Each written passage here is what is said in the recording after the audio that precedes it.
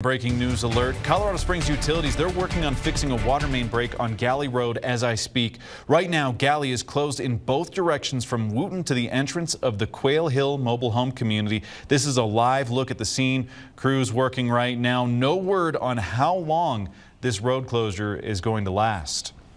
Now let's check in with meteorologist Brady Brewster for a first look at your forecast. in Brady, it is going to be beautiful for the air show, but yeah. also hot. Yeah, that's the biggest thing we're tracking for now is going to be the heat. Summer is not over yet, Tony. We are still seeing those warm temperatures. Today will be pretty close to normal, but after today, that warm up begins. This is a look for you over into Monument, courtesy of JRC Roofing here. You can see all that sunshine off in the distance. Our temperatures warming up pretty quickly out there. We've got about 70 degrees right now in Monument. This is down into Pueblo. We're seeing blue sky there as well. 74 degrees.